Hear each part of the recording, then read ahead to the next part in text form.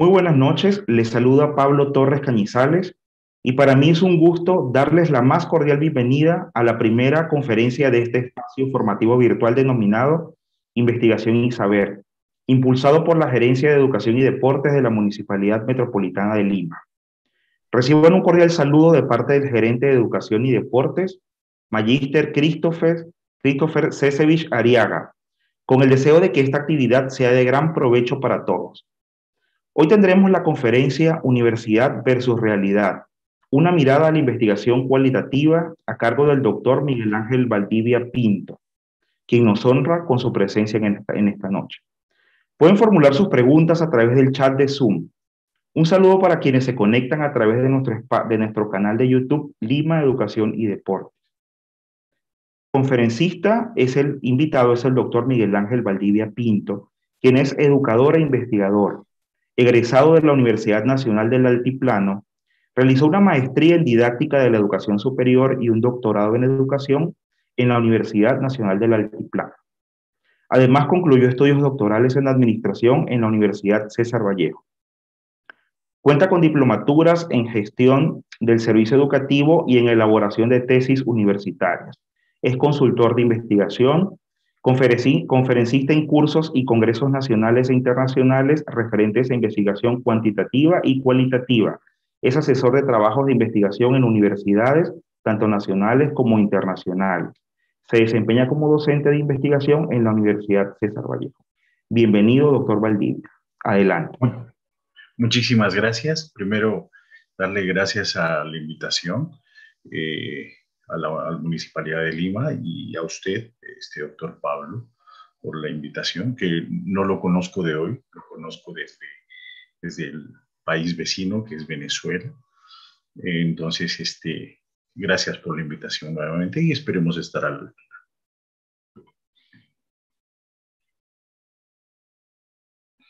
Muy bien.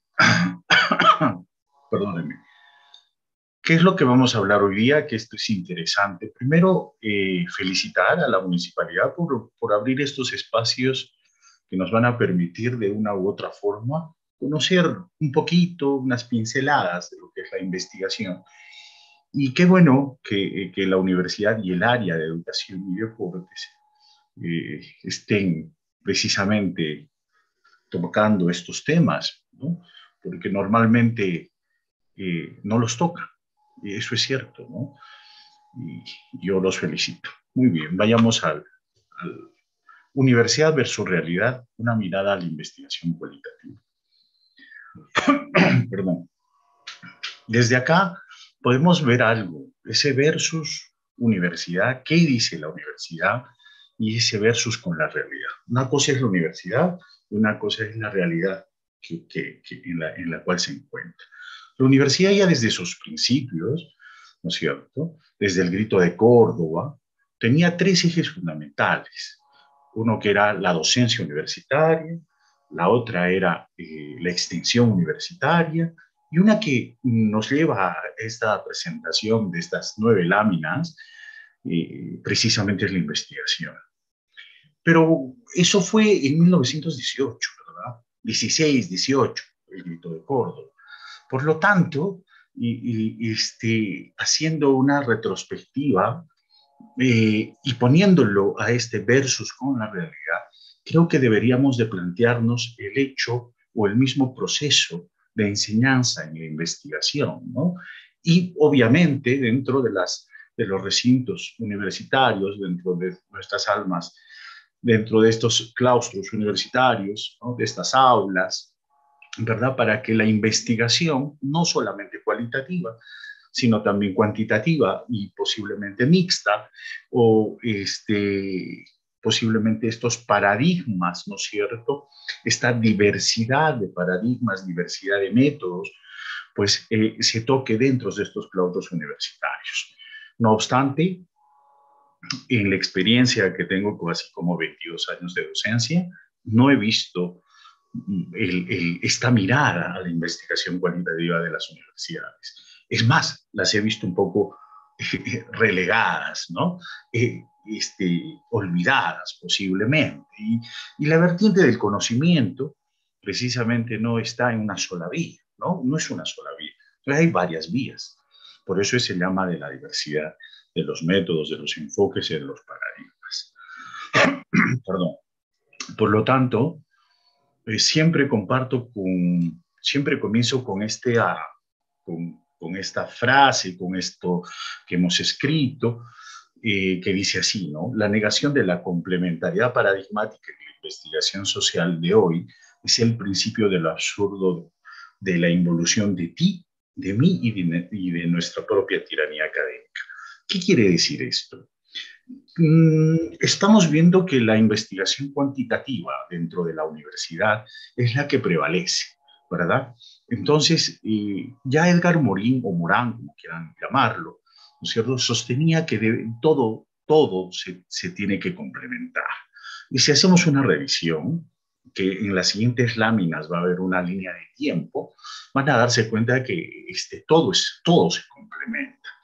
Pero dentro de esta universidad, dentro de los recintos universitarios, eh, el docente universitario, que somos nosotros en su mayoría, solamente vemos una vertiente del conocimiento y esa vertiente del conocimiento hace que uno haga el transfer de conocimiento y sea pues tirano, ¿no? Tirano porque solamente domino esa parte y olvido lo otro, Es por eso que es esa una involución. De ti, de mí y de nuestra propia tiranía académica. Y esto vamos a respondernos, van a ver ustedes que esta frase o este dicho, eh, van, a, van a responderse ustedes como, como nos vamos llevando, y digamos, desenvolviendo eh, o desarrollando esta temática. La universidad. ¿sí? Primero vamos a ver la universidad. Una crisis que genera incertidumbre en las cosas más a día de hoy. A día de hoy hay una incertidumbre increíble ¿no? en las cosas fundamentales que afecta al ser humano. Estamos viendo la pandemia, ¿no? Estamos viendo antes de la pandemia, inclusive existen otras cosas que van a ver con la realidad. Y esto precisa paradójicamente un momento en que la explosión o el volumen del conocimiento, que mediante las redes sociales, mediante las TICs o las tecnologías de información y comunicación, pues las, las adquirimos muy fácilmente. ¿no? Los cuestionamientos están dirigidos especialmente a esos logos científicos tradicionales, es decir, al, al positivismo como, como digamos, como como, como, esencia filosófica, epistemológica, ¿no es cierto?, que es la que, que dirige ese logo tradicional, antiguo, ortodoxo, quizás, ¿no? Entonces, miren cómo, cómo tenemos de cuestionarnos, ¿no? ¿Cómo está esta incertidumbre? Es decir, a estos criterios que rigen la cientificidad. La cientificidad no se rige solamente desde una vía, del conocimiento, sino hay muchas vías del conocimiento. Y una de ellas, yo voy a hacerle un ejemplo acá, Ilja Prigionini, físico, químico, ganador del premio Nobel, él escribe un artículo científico donde sostenía que la mirada, la mirada no solamente era desde el positivismo, ¿no? desde esta corriente filosófica ¿no? de, Francisco Bacon, Augusto Comte, como los padres, digamos, de, de, de, este, este ismo, sino que este, también se debería de abordar desde la otra mirada, desde la otra orilla, que significa esta orilla del conocimiento, porque el conocimiento tiene dos orillas. La otra orilla que era la mirada a lo cualitativo, al paradigma sociocrítico, naturalista, ¿verdad? Desde esa mirada. Entonces, la cientificidad rige esa, esa, forma, ¿no? Y esa es la incertidumbre que está, que está pasando. Ahora, muy bien, eso fue el Prigionini. Pues Mario Bunge, que hace muy poco nos ha dejado a la edad de los 100 años, él, eh, él en sus últimos libros, que los tengo ahí al fondo, eh, sostiene que este, hace entre dos mundos escribe si es que la memoria no me falla, Mario Bunge, y sostiene ahí, cuenta absolutamente todo, todo su, su, bagaje de conocimiento, sus disertaciones en diferentes escenarios, en diferentes países, y, va rescatando ciertas cosas. Y en síntesis, lo que él concluye es que también se debe de abordar eh, eh, un fenómeno de estudio, o, la cientificidad también desde el otro ángulo, desde la otra orilla, que es el, paradigma, el enfoque, desde esta diversidad de, enfoques que es el cualitativo, ¿no?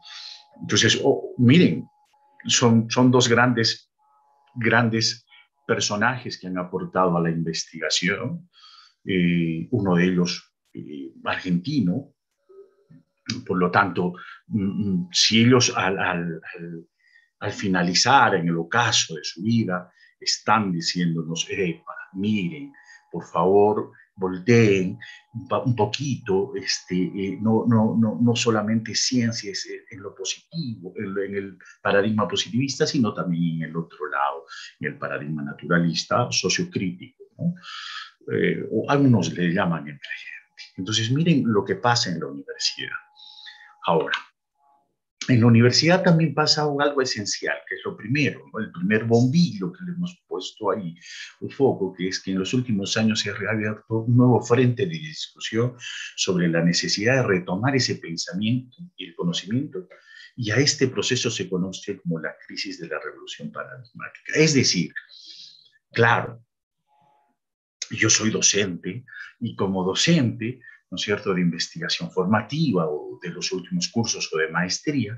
Entonces yo solamente voy a dar, por eso decíamos desde el principio, ¿no? Somos tiranos académicamente en enseñar, en el proceso de enseñanza de la investigación.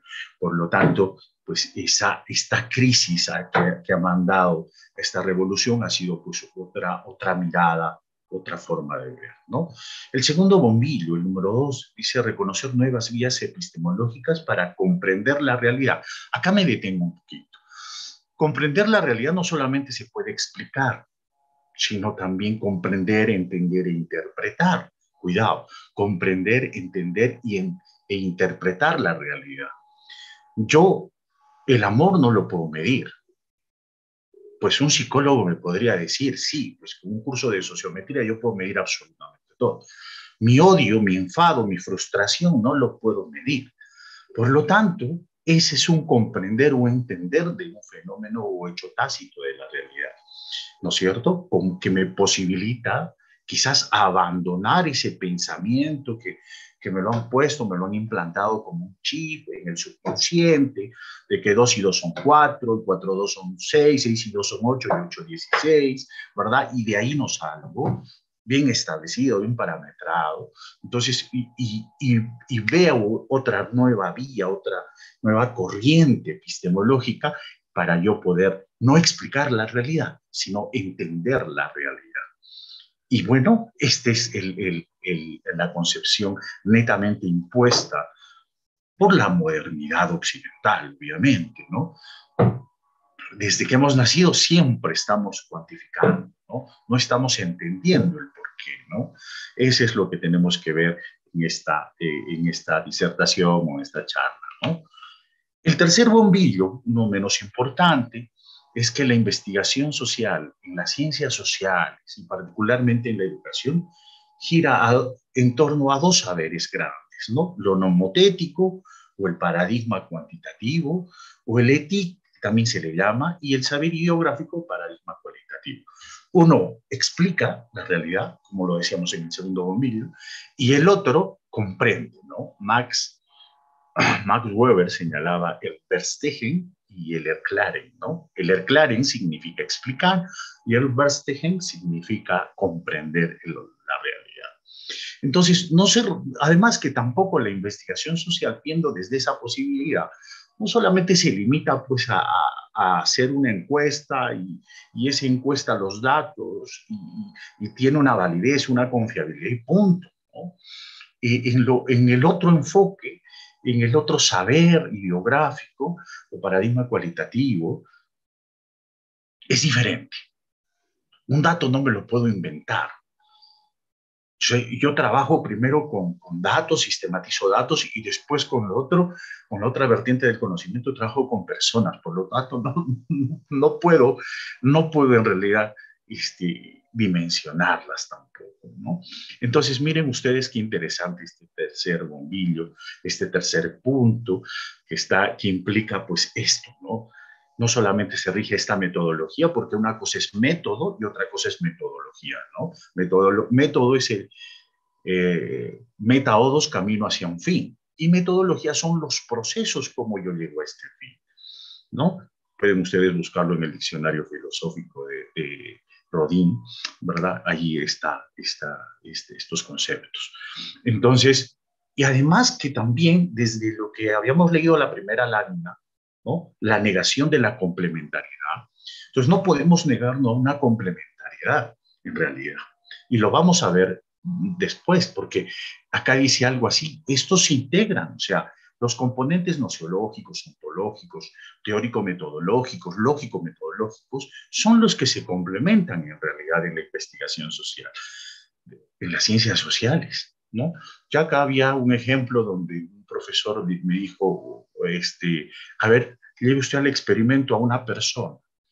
Pues eh, eh, ponerlo en un tubo de precipitación, en tubo de ensayo, no se puede poner a una persona pero sí puedo hacer trabajos experimentales en ciencias sociales, obviamente, pero también puedo hacer desde la fenomenología, desde el análisis del discurso, desde la semiótica, la semántica, puedo abordar también una investigación en ciencias sociales, ¿verdad? En economía, en derecho, en farmacia, etcétera. O sea, es decir, y nos estamos un poquito olvidando de estos saberes fuertemente, ¿no? Y obviamente que en educación esto es, implica mayor, mayor concreción, ¿no? Es decir, digamos, mayor, digamos, eh, mayor preocupación, diría yo, ¿no? Porque en educación estamos, influye, incide, e, e, etcétera, ¿no? Pero, o cómo se correlaciona, etcétera, pero no estamos haciendo desde lo cualitativo. Y esto impera este tercer bombo.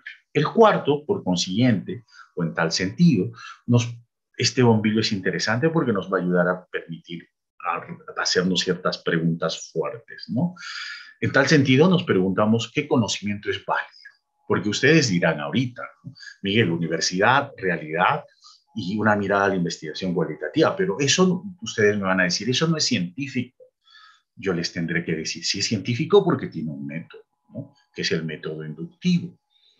Eh, y ojo, eh, y acá viene un cuestionamiento fuerte que vamos a llegar a la parte concluyente. Entonces, ¿qué enfoque de investigación es el adecuado?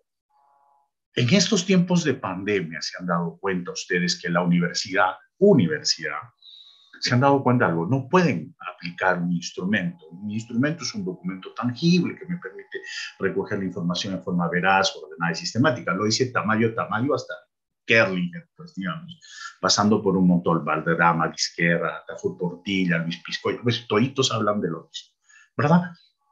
Pero, ¿cómo voy a recoger en, en pandemia, en tiempos de pandemia, un instrumento? ¿Cómo voy a aplicar un instrumento a la unidad de análisis? ¿Cómo lo voy a hacer, por el amor de Dios? No se podría, porque no puedo salir porque estoy en cuarentena. ¿sí? Entonces las universidades obviamente en este bombillo número 4, han girado, han girado, han hecho no un giro hermenéutico, sino han girado, han volteado la cabeza para ver la otra orilla del conocimiento, es decir, a la fuerza. No ha habido una evolución paulatina, este, pertinente, ¿no es cierto?, de un paso a paso, sino ha habido una, un corte muy fuerte, ¿no? sin mucho, digamos, no ha habido una transición adecuada, no ha habido esa cuestión metodológica, esos procesos, y entonces han girado tan bruscamente que piensan que la investigación cualitativa es entrevistar, es hacer un grupo focal, pues como venga, porque claro, porque como no me puedo este, licenciar o sacar mi maestría o sacar mi doctorado o, esos grados, digamos, ¿no es cierto? Entonces lo que impera es que no, haga cualitativo, ¿verdad? Y, y ojo, eh, acá viene ese déficit de la universidad.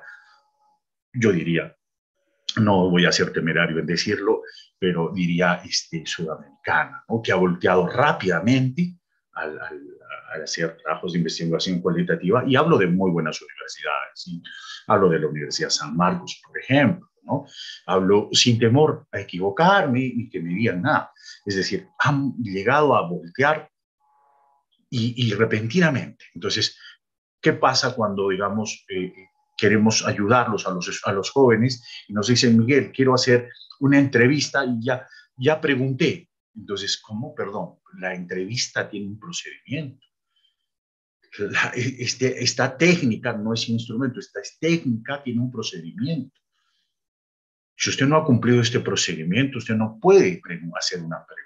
Y acá viene una, una concesión muy bonita, ¿no? El arte de la mayética, ¿no? Es el saber preguntar.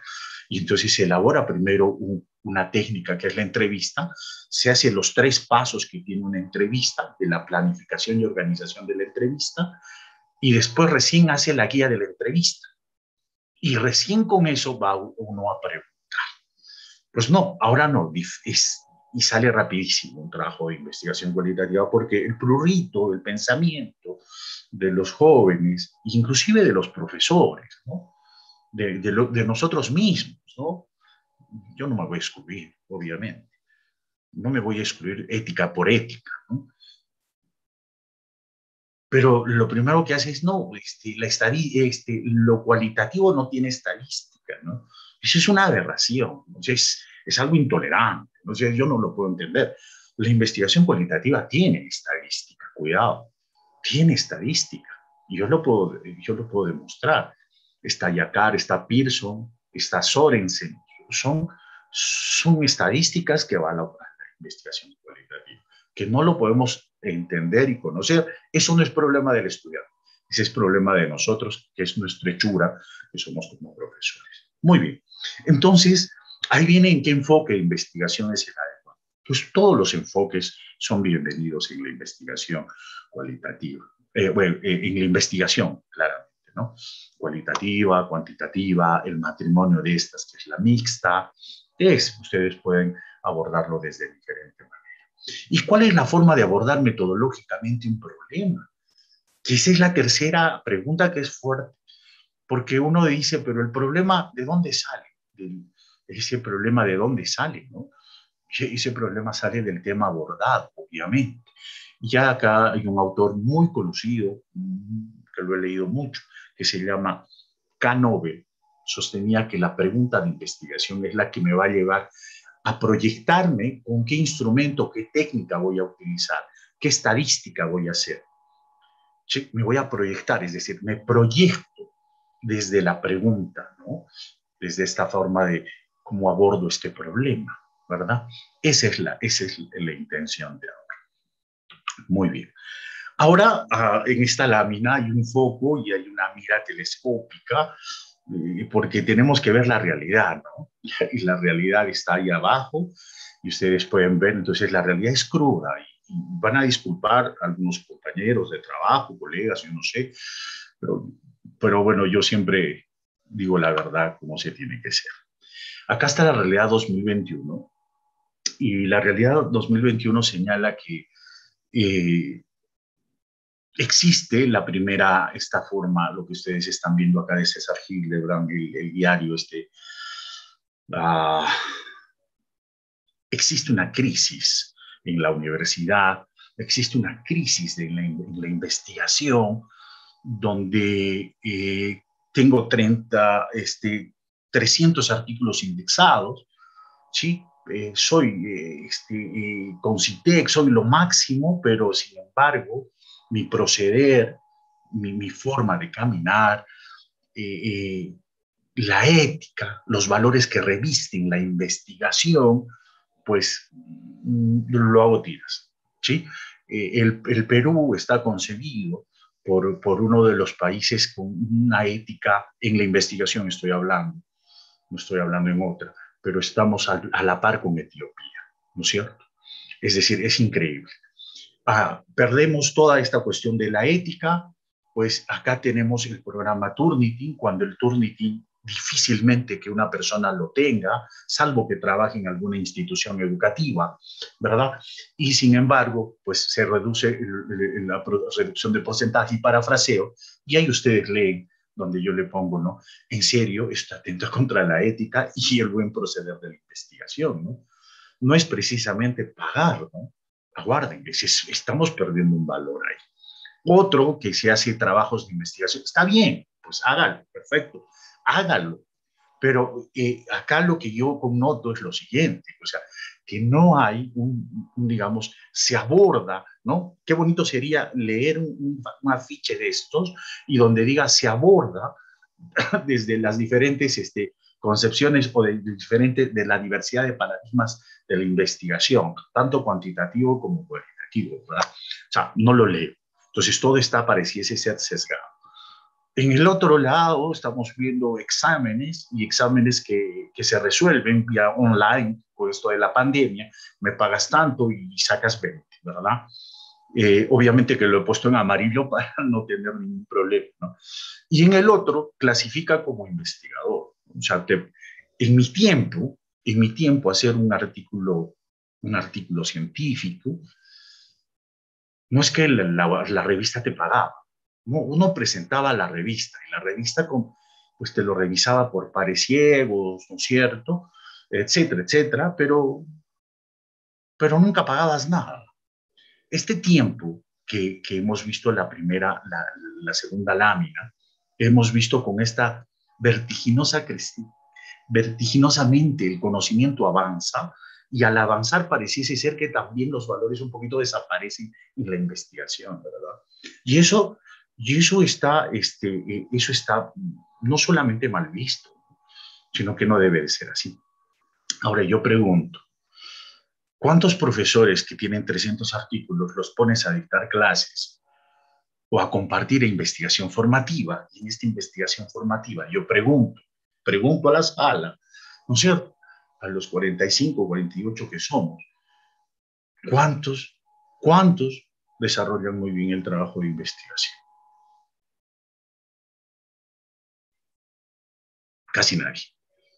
Es decir, obviamente, claro, si estamos viendo conducentemente esto, si pago para que hagan esto, si pago para que hagan esto, si pago para, para que hagan aquello, eso es, hay que tener cuidado. Y acá le pongo un ejemplo claro que me ha pasado no voy a personalizar, pero estoy yo jefe de un proyecto de investigación de violencia contra la mujer en Apurímac, en todo Apurímac.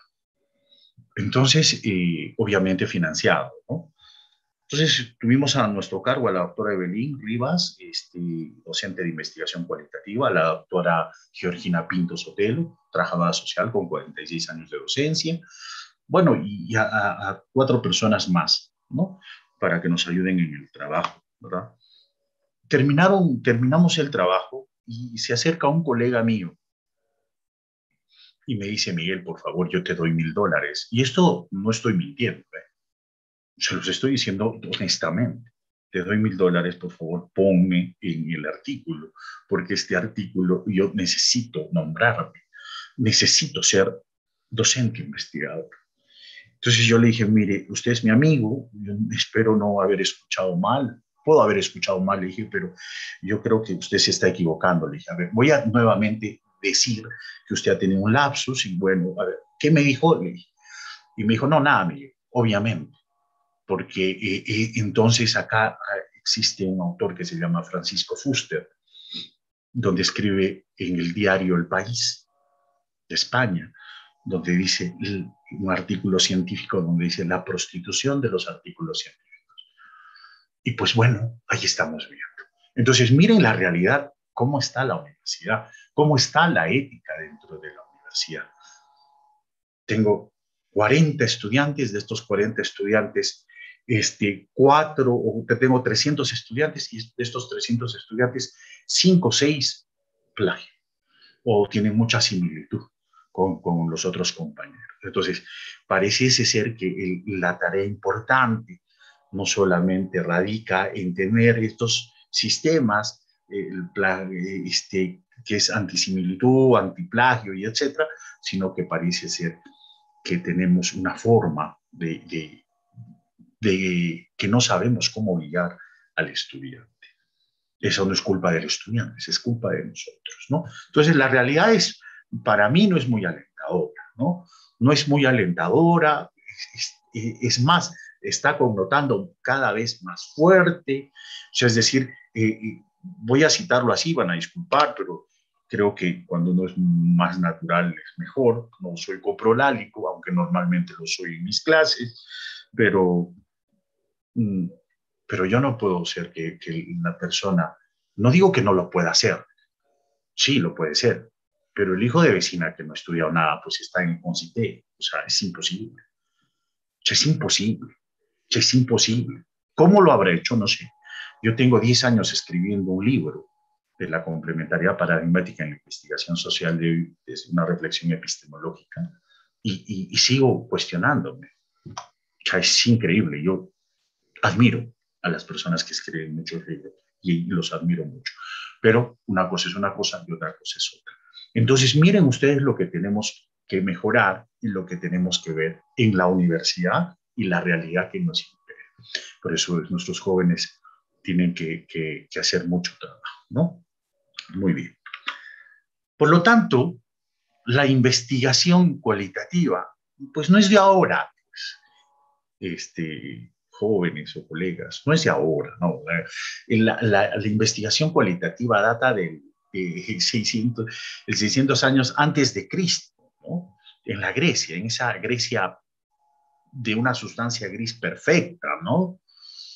De estos presocráticos inclusive, de Sócrates, de Platón, de Aristóteles, Aristóteles hace un, y lo cito ahí en esta línea de tiempo, una concepción muy bonita. Porque Sócrates ya trabajaba la parte de inducción inclusive me, atrevo a pensar y decir y filosofar un poquito, tales de Mileto igual. Mileto era una bahía, era un puerto.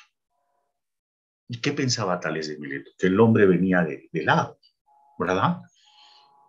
Pasa sucesivamente a, a, Aristóteles y Aristóteles hace, para mí es un gran investigador inclusive, porque aborda desde diferentes ángulos la investigación y van a verlos, van a verlo ustedes. Les voy a contar. Hace tres grandes investigaciones este, Aristóteles. Obviamente muchas más, pero para mí tres grandes, tres, grandes investigaciones.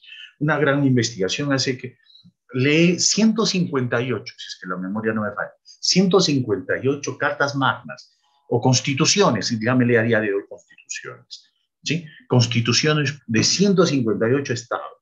Hace un estudio por lo tanto, ese estudio no ha podido ser pues, cuantitativo, ¿verdad? A día de hoy yo, yo, yo, yo pienso, infiero y digo, no puede ser cuantitativo.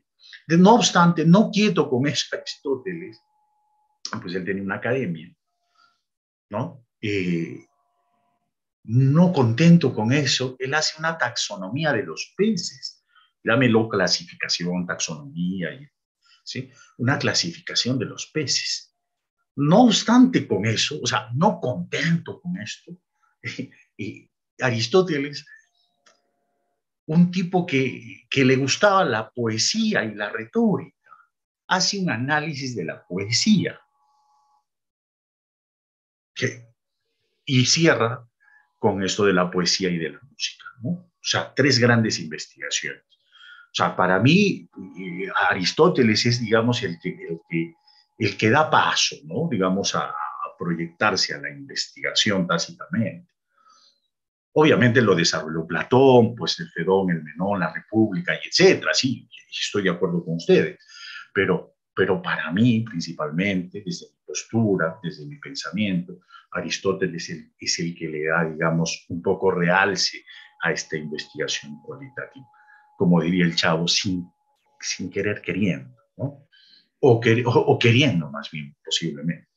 No lo sé. Bueno, y ahí aparece en 1930 porque ahí hay un corte, ¿no? Cuando Grecia era potencia, hace un corte y en ese corte pues aparece lo que se llama la patrística y la escolástica.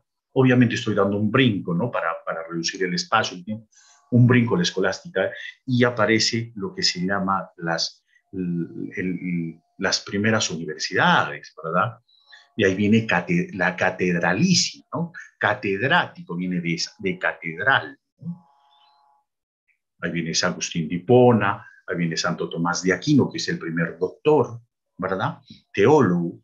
Entonces, miren, desde ahí ya se aborda el, sistema de, de, universidad. ¿sí? Entonces, en 1930 ya hacen los primeros trabajos cualitativos. 1950 ya hace un declive por estos estudios, es decir, aparece en 1930, pero mm, seguía prevaleciendo un pensamiento único, único, ¿no? Un solo pensamiento. Pero bueno, y nuevamente de, hacia el declive en 1950, en 1960 es un resurgimiento de los métodos cualitativos. El 82, 1982, ya Bogdan y Bicklin sitúan las raíces de la investigación cualitativa en los Estados Unidos, claramente, ¿no? Con estudios etnográficos, pues, ¿no? Con estudios inclusive desde la educación, desde, eh, si uno lee a, a, Corbin y Strauss, por ejemplo, ellos señalan eh, Alex de Muschelli, el diccionario metodológico de investigación cualitativa, por ejemplo, ellos señalan que la investigación cualitativa apareció en la Primera Guerra Mundial, con esto de la enfermería, con la Cruz Roja. Miren, qué interesante. Entonces, en 1994, Denzil Lincoln, el investigador cualitativo, intenta realizar estudios cualitativos rigurosos de importantes procesos sociales, especialmente en la educación, ¿verdad? Y después aparece Flick, V. Flick, que sostiene que hacer investigación cualitativa no se puede enfocar nunca más desde una perspectiva positivista, neutral u objetiva. Entonces, acá viene el posicionamiento de la subjetividad la investigación cualitativa solamente es subjetiva, no es objetiva, por lo tanto no es científica. Hay un dilema y hay unas, hay unas cosas muy bonitas ahí para hablar. Y el 2021, que, que pongo ahí el 2021 con, este, con un color medio tenue, ¿verdad? Las universidades de nuestro país en su mayoría no realizan trabajos de investigación cualitativa. ¿Y saben por qué no lo, lo realiza? Porque precisamente merece hacer algo tan importante como esta, ¿sí? Vamos a ver. ¿Por qué es importante? ¿Por qué es relevante la investigación cualitativa? La investigación cualitativa tiene por relevancia específica para los estudios de las relaciones sociales, desde una perspectiva holística. Homero, un, escritor que lo leí en Cuba, Homero, no solamente Homero, Fidel, las, eh, Jacqueline Hurtado, ¿verdad? Hablan sobre la cuestión de la perspectiva holística integral y convergente. En tal sentido, la mayoría de los fenómenos en la realidad no se pueden, de hecho, explicar, más bien se pueden entender o comprender. Esa explicación tiene que entenderse desde, desde otra manera diferente. Por el contrario, son el resultado de una complejidad de la realidad. Ahí he puesto doble coma, de ahí que el tema u objeto de estudio en investigación cualitativa no se reduce a variables. No es como lo cuantitativo, cultura organizacional y, pongo la variable y dimensiono, operacionalizo la variable. No, no, no.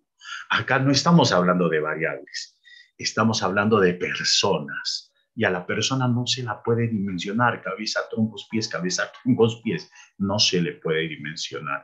Pero sí, hay una cosa muy particular acá, que en esta matriz operacional, como existe esta, eh, en lo cuantitativo, en el enfoque cuantitativo, pues aparece lo que se llama el... Ajá, voy ya voy acabando. Eh, mm, precisamente Falsborda y Miguel Martínez Miguelés señalan que debería de hacerse unas matrices a priorísticas de categorías y subcategorías que reemplacen esta, este, no reemplacen, sino que esté, digamos, a la par de la investigación cuantitativa en estas variables, dimensiones o indicadores, ¿no? Entonces, miren, tiene una, y acá hay algo muy bonito, tiene una amplia sensibilidad, ¿no? Interpretativa, postmoderna, feminista y crítica. Una cosa impresionante, como todo lo que impera al hacer un trabajo de investigación cualitativa.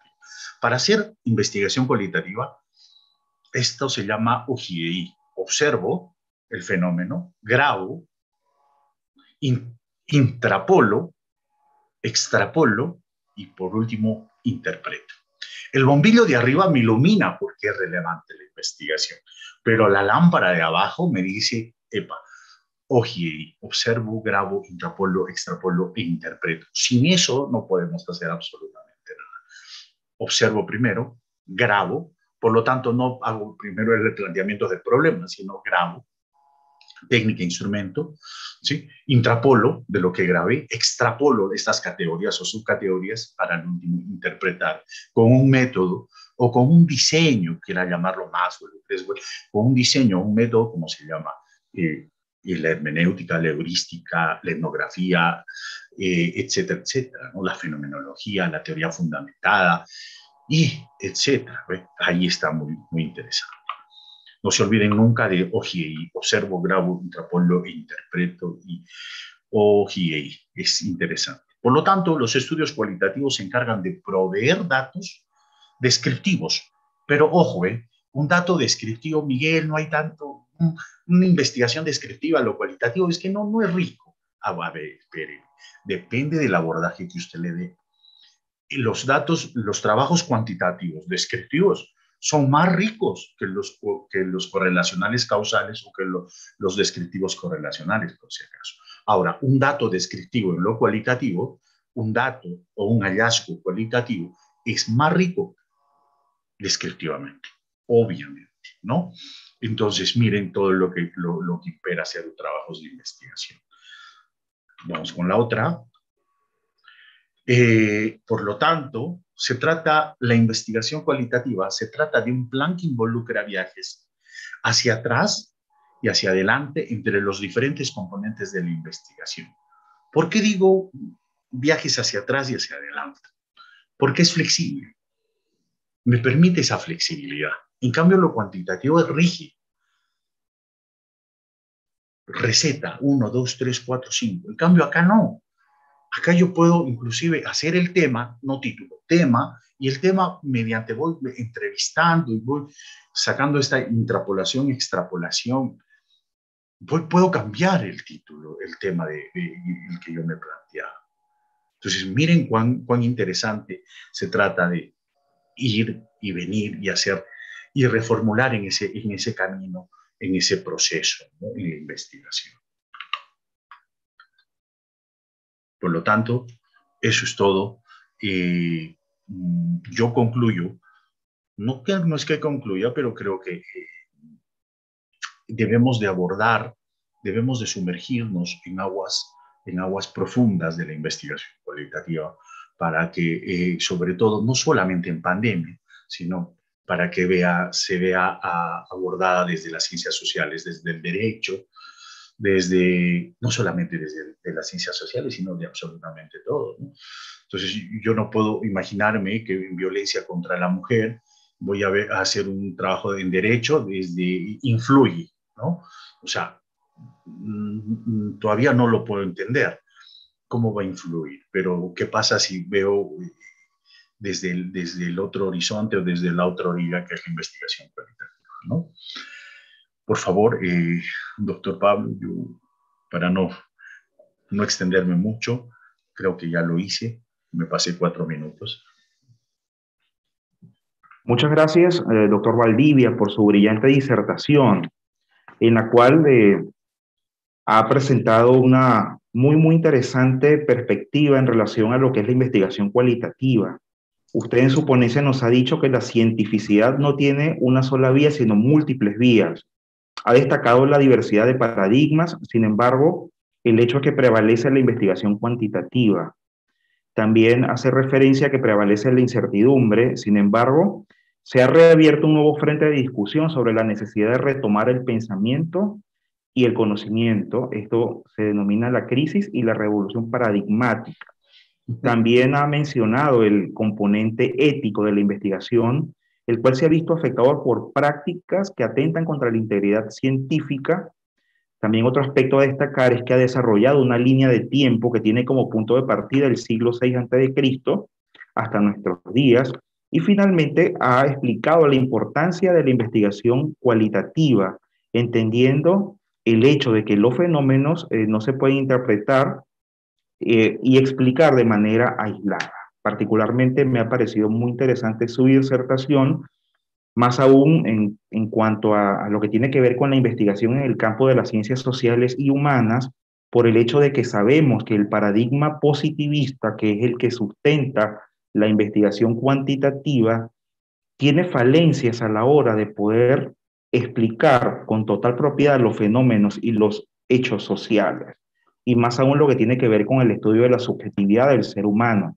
Por lo tanto, no todo puede ser eh, interpretado, no, puede ser, no todo puede ser, investigado a partir de las investigaciones cuantitativas, Por lo tanto, eh, eh, interpreto que es necesario que se promueva la investigación cualitativa sobre, principalmente en el caso de las ciencias sociales y humanas. Me gustaría que invitara a John Cobo para que comparta con nosotros algunos comentarios de los participantes y también le transmita algunas preguntas que están en nuestro chat. Por supuesto. Eh, muchas gracias, Pablo. Muy buenas noches para todos. Agradecerles en nombre de todo el equipo de la Gerencia de Educación y Deportes de la Municipalidad Metropolitana de Lima por su participación en la noche de hoy y muy especialmente al doctor Miguel Ángel Valdivia Pinto, que ha tenido la gentileza de aceptar nuestra invitación. Voy a leer algunos comentarios que están acá eh, en relación al, al, tema abordado la noche de hoy. Eh, y, y, recordarles que en esta sala están conectados no solamente colegas, académicos, profesores del Perú, sino también de otras latitudes de, del mundo. Nos envían saludos desde El Salvador, desde Panamá, que están actualmente em, conectados. Y por acá, este, Vicente Orbegoso hace varios comentarios en relación al tema que estuvo abordado abordando el doctor y dicen que son realidades muy subjetivas en cuanto a su fenomenología. Em, dice, hace un comentario positivo en relación a que eh, él está desaprendiendo para aprender en relación a, estos planteamientos que ha venido haciendo el doctor. Y, por supuesto también nos comenta que desde que aparece el hombre, nuestros antepasados ya realizaban reflexiones e interpretaciones de la realidad. Lamentablemente estamos muy influenciados por la escuela eurocentrista, nos dice Vicente Orbegoso, ¿no? Eh, por acá, eh, Miguel Uriona nos dice, ¿cómo se puede incluir el desarrollo de proyectos o de trabajos de investigación en el Ministerio de Educación? Eh, si me permite. Sí, claro. Adelante, doctor. E, esa es una muy linda pregunta. Voy a comenzar por la última que usted, este, ¿cómo se incluiría en, el Ministerio de Educación? Y acá pasa muy bonito. No solamente la investigación cualitativa es de, las ciencias sociales, y claro, está inmerso en la, educación, sino que también está también inmerso la investigación-acción la, investigación-acción, la investigación-acción participativa y la investigación emancipatoria. Y que el, compañero o que el, colega habló de transformación, ¿no? Escúchenme, una investigación para, para poder transformar algo, pues se tiene que investigar primero. ¿Sí? Entonces, obviamente, para el Ministerio de Educación, la, ah, pues este, yo recuerdo haber presentado el 2011 o 2012 todo un esquema de investigación-acción para la, para la escuela de posgrado de la Universidad César Vallejo. Pues si lo tienen en su anaquel, o sea, está ahí amontonado. Bueno, si es que no lo han votado, obviamente. Entonces, ¿qué es lo que sucede? ¿Cómo hago yo, Miguel, para yo este, girar? Como yo, yo voy a hacer el giro, el giro que hizo Jean-Paul Sartre, lo hizo Heidegger, siendo positivistas, ¿eh? de un pensamiento positivista, de pensamientos filosóficos bien arraigados, ¿verdad? Han girado, ¿no es cierto?, a, a ser, digamos, los padres o, digamos, referentes totalmente fuertes del posicionamiento de la mirada, digamos, desde, la, desde el enfoque cualitativo o desde el paradigma sociocrítico o este, eh, naturalista, ¿no? O sea, han girado. Si, el interés de uno es girar, pero yo voy a citar a, mi madre, donde mi madre decía así, somos tan malos positivistas, pero tan malos positivistas que queremos ahora girar a, hacer al paradigma naturalista o sociocrítico. Y yo le dije, pero ¿por qué somos tan malos positivistas? Porque en realidad no llegamos a cumplir los pasos del positivismo realmente, ¿no? Entonces, Obviamente, la mirada está en girar. Cuidado, no es, no, es, no es fácil hacer un trabajo de investigación cualitativa. No es fácil hacer un trabajo de investigación-acción, investigación-acción participativa, investigación-acción acción emancipatoria. La Torre, Kemis, este, Kurlewin, pues, e, e, este, y etcétera, Miriam González, este, hay muchos autores. Y claro, porque desde el aula, desde el aula yo puedo solucionar un problema Desde mi aula puedo solucionar un problema. ¿Y cómo puedo solucionar? Con una investigación acción, obviamente, claro que sí.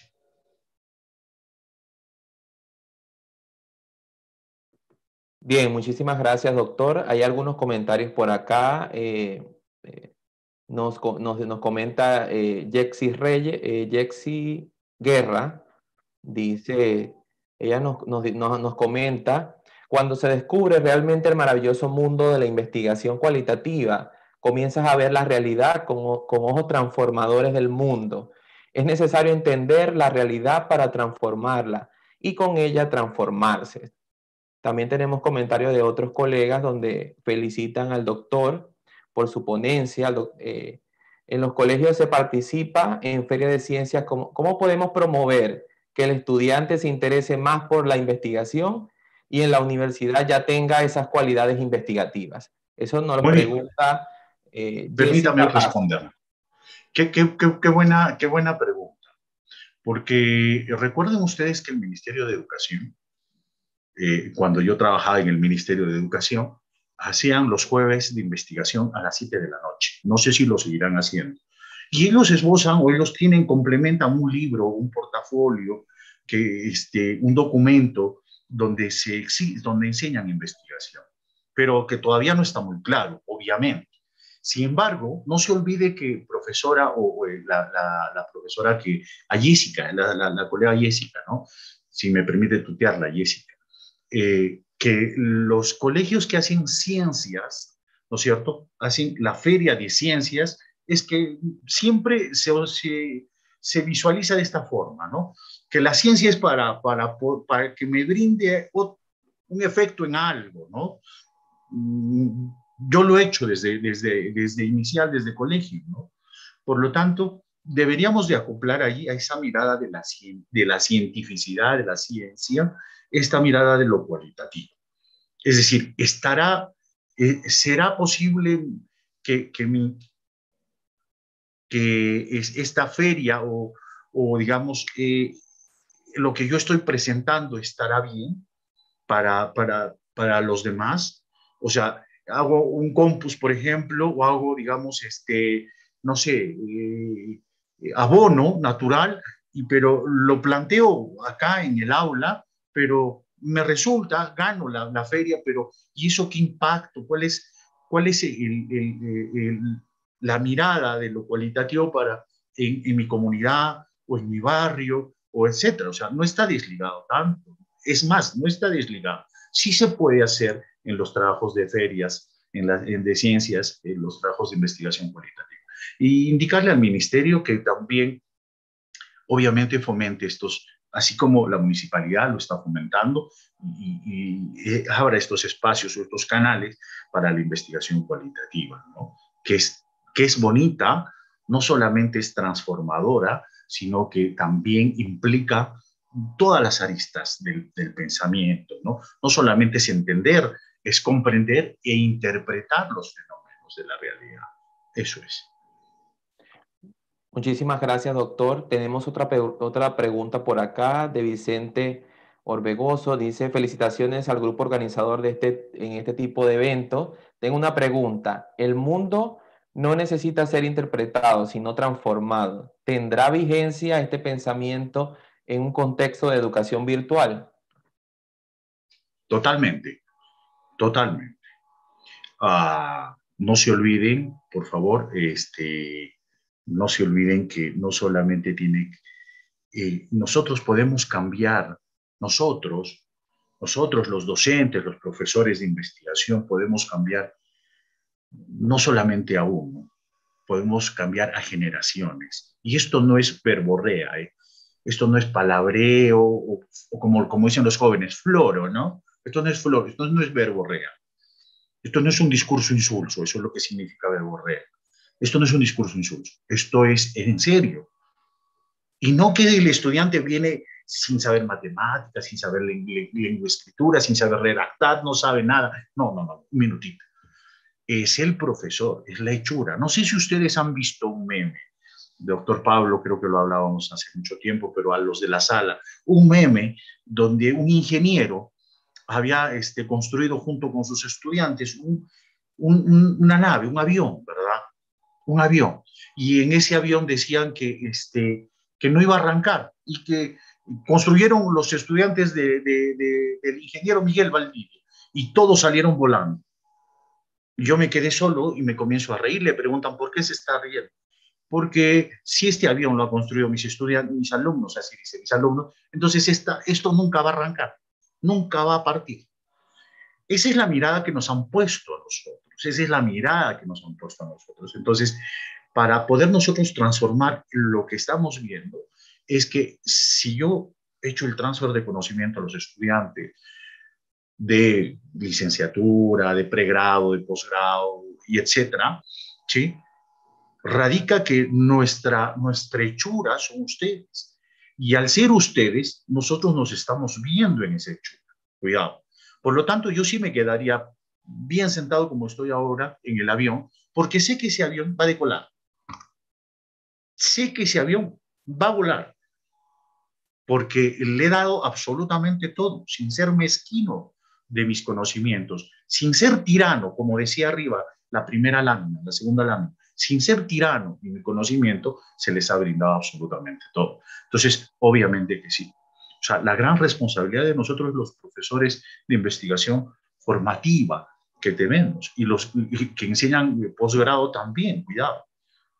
Miguel, 17 semanas, este, 18 semanas, 20 semanas, un, un sí. Son 20 semanas que usted tiene que implicar un más. Esa es la forma, ¿no? Muchísimas gracias, doctor Miguel. Eh, hay una, una pregunta por acá de Luciano Velázquez. Dice, excelente ponencia, doctor. Mi pregunta es, ¿usted considera que la investigación cualitativa será el enfoque más usado por sobre el enfoque cuantitativo aún después de culminado la pandemia, a propósito del virus del COVID-19? Eh, por el momento eh, está siendo mal utilizado el, paradigma y el enfoque cualitativo dentro de las universidades. No digo de todas, pero en su gran mayoría. Inclusive voy a citar a alguien que lo conozco y es amigo mío, ¿no? y que es este, economista, ¿no? y decía, este, Miguel, no, cualitativo no, ni te atrevas, ¿no? Algo así, ni te atrevas, no, no, no, no, imposible. Cuando, cuando no es uno más que el otro, ¿eh? pues es el efecto de la complementariedad, ¿no? A, Luciano, al compañero Luciano, al, es, eh, este, es el hecho de, no es que sea más o menos, sin embargo, creo que lo cualitativo debe prevalecer sobre todo sobre todo en aquellas ciencias sociales fuertemente. Educación, enfermería, derecho, trabajo social, mismo psicología, ¿eh? O sea, fuertemente. O sea, ¿cómo voy a entender una frustración? ¿Cómo voy a, a ver, cómo voy a entender a qué, bueno, ahora que estamos en Olimpiadas, ¿verdad? ¿Cómo voy a entender a un deportista que no pudo clasificar o que se lesionó? voy a ver, este, voy a verle, contarle las fibrillas musculares cuántas son, o cómo ha influenciado, o qué correlación tiene. No, tendré pues que entenderlo, comprenderlo en esa frustración. Y eso no se puede medir, se puede entender. Y al entender puedo sacar muchas concepciones. Déjenme hacerle un ejemplo de segundos, ¿no? Nosotros cuando hicimos el trabajo, digo nosotros porque no fui yo el único, nosotros cuando hicimos el trabajo de violencia contra la mujer, encontramos a una señora que nos limpiaba el, eh, el, departamento, es decir, ¿no? Estamos en el segundo piso y de casualidad le dije, por favor, ¿no quiere limpiármelo el, el, piso? Por favor, tenga la voluntad. Me dijo, sí, por supuesto. Uy, lo comenzó a limpiar y, hablé con mi esposa y le digo, ¿y si la entrevista? Y comenzó a entrevistarla y tenía 30 años de violencia contra la mujer. ¿Se imagina 30 años de violencia contra la mujer? Y cuando ella se le entrevista y nosotros hacemos la intrapolación de esta entrevista, ella dice lo siguiente, textualmente, no estoy inventando. Y dice, no he debido ser mujer. Yo no he debido ser mujer. Yo me siento frustrada. Y, y mi historia la está volviendo a vivir mi hija. Sea, nosotros no habíamos visto la categoría de frustración no habíamos visto la queja y el llanto de esta persona que estamos entrevistándolo, que fue casual, que fue espontáneo, ¿no es cierto? Que fue muy, muy natural y, que, y, de repente nos dimos, nos dimos cuenta que había categorías y subcategorías que no las habíamos ni siquiera, ni siquiera imaginado. Entonces, por lo tanto, sí, pues, la investigación cualitativa te da esos aspectos. No, no son datos fríos, no son de, cuántos participantes son, son mujeres y son, y son varones. No, no dice eso. Son datos fríos. Dice, ¿por qué tan, tan, es, más, yo les voy a comentar algo también, quizás apoyando esto. Cuando yo fui a disertar a, a Venezuela, en la Universidad Pedagógica Experimental Libertador, ¿no es cierto? Yo veía mucha cantidad de mujeres. Habían dos, tres varones, pero eran 30, 35 mujeres, en todo lado, mayor mujeres. Entonces, mi forma era preguntar, ¿no? ¿Y qué, ¿Y qué, pasa con el hombre? ¿no? O sea, ¿qué pasa con, con, con, con mi, mi, mi, género? Entonces, las mismas señoras decían así, las mismas profesoras decían, no, él está en el trabajo, él, él no, no, él no estudia, él, él está en el trabajo, a él le gusta el trabajo y ahí se desarrolla mejor.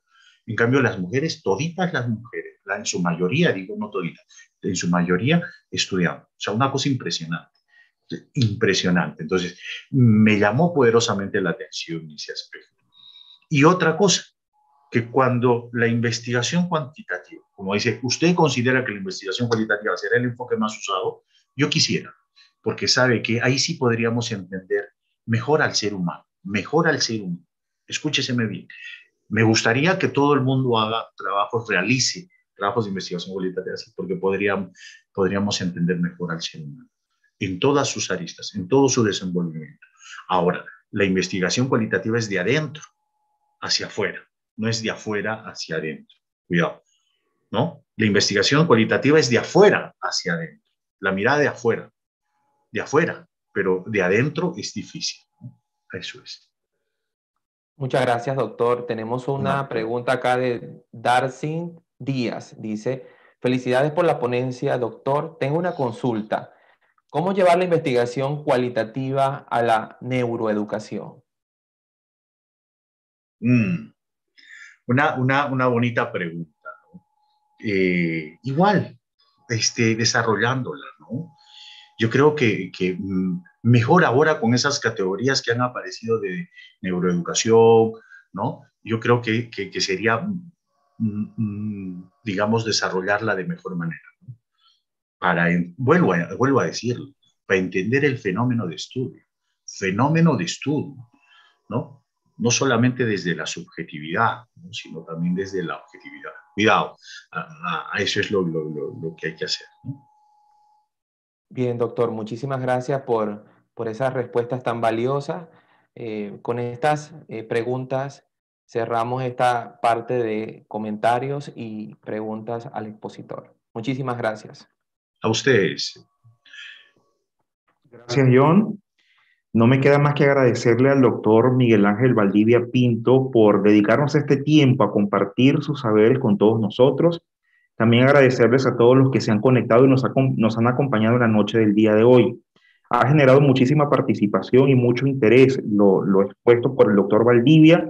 Lamentablemente no tenemos tiempo para, para, todas las, para que se respondan todas las preguntas. También quiero saludar a las personas que nos han acompañado a través de la cuenta de YouTube de Lima Educación y Deportes. Eh, hay un comentario que solamente quisiera eh, mencionar brevemente de Martín Queveras, Queveralú Pasos. Dice, concuerdo con su posición, doctor Miguel, sin embargo, a veces existen muchas limitaciones en la universidad pública que impiden promover la cultura de la investigación cualitativa. También este mismo, eh, este mismo esta misma persona señala que hay una sobrevaloración del enfoque cuantitativo en el en desmero del cualitativo. Sin embargo, este último podría brindarnos más luces sobre la complejidad de las relaciones humanas. Bien, de esta manera, pues tendríamos ya que estar concluyendo, agradeciéndoles a ustedes por la participación y así culminamos nuestra primera emisión de investigación y saber. quiero invitarlos también para el próximo martes 10 de agosto a las 7 de la noche, que tendremos la conferencia Elaboración de Proyectos de Tesis a cargo del magíster José Luis Arias González, quien es investigador, escritor y CEO de Enfoques Consulting de Perú. Entonces, de esta manera culminamos y deseo que todos tengan una muy feliz noche. Muchísimas gracias. Gracias a ustedes. Un abrazo. Gracias, doctor Pablo.